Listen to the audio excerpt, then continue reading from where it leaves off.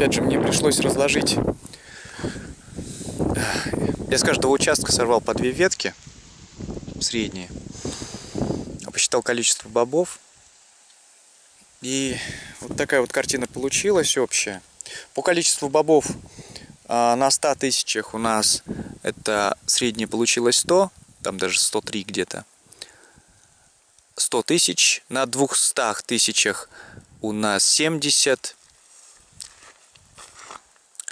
300 это 40, 45. 400 у нас 30-35 получается где-то так. И 500 у нас 20. 20 до 25 штук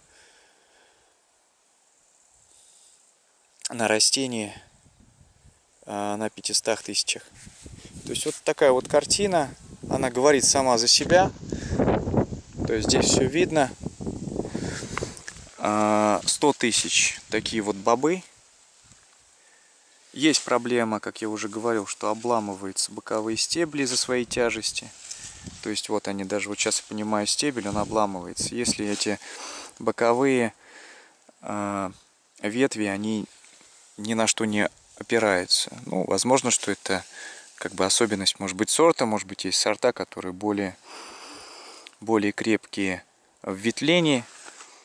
А, то есть, так, это у нас 200 тысяч.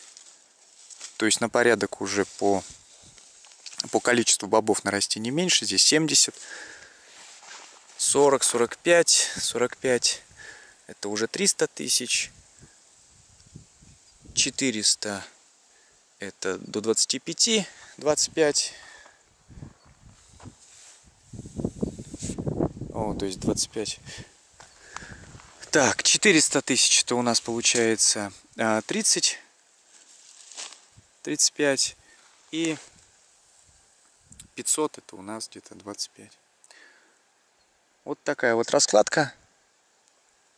Визуально все видно, визуально виден эффект. Видно, что примеру, там, где загущенный посев уже силы не хватает, уже бобики желтеют, уже есть проблемы в нижнем ярусе, то есть листья только на макушках, а, то есть со снижением, со снижением нормы э, видно, что и боб крупнее, но и с питанием все отлично.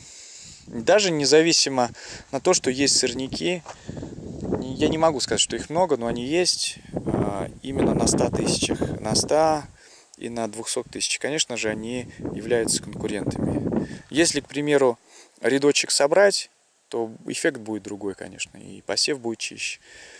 Потому что рядки сомкнутся в итоге. Вот такая вот картинка. Сегодня у нас 20 августа Соя пока зеленая. Чаще всего мы в этот период уже начинали убирать. Вон на горизонте ветвеются уже участки более желтые. Хотя там также вносились удобрения, селитра была внесена. Вот так вот.